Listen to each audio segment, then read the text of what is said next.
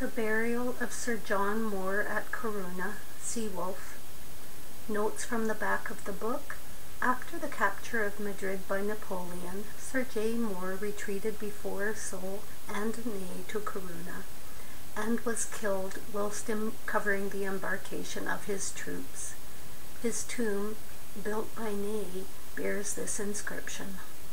John Moore, leader of the English armies, slain in battle 1809.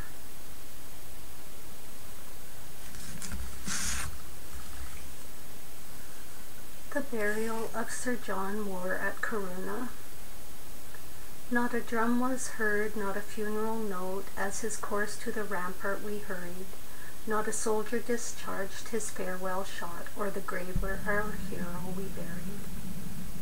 We buried him darkly at dead of night, the sods with our bayonets turning, by the struggling moonbeam's misty light and the lantern dimly burning.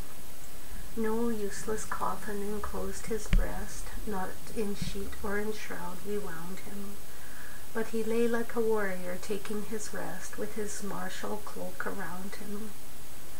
Few and short were the prayers we said, and we spoke not a word of sorrow but we steadfastly gazed on the face that was dead, and we bitterly thought of the morrow. We thought as we hollowed his narrow bed and smoothed down his lonely pillow, that the foe and the stranger would tread o'er his head, and we far away on the billow. Lightly they'll talk of the spirit that's gone, and o'er his cold ashes upbraid him, but little he'll reck if they let him sleep on in the grave where a Briton has laid him.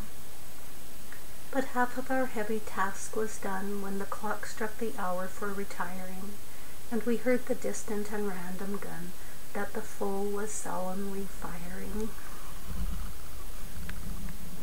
Slowly and sadly we laid him down from the field of his fame fresh and gory, we carved not a line, and we raised not a stone, but we left him alone with his glory.